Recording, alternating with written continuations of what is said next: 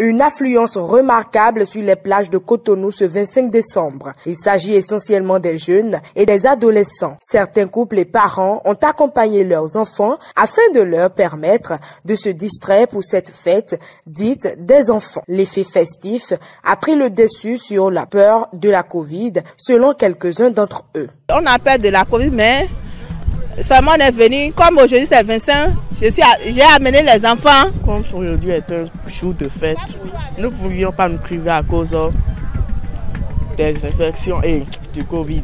Nous avons peur, mais pourtant comme aujourd'hui c'est jour de fête, on est venu juste pour, nous, pour se distraire un peu.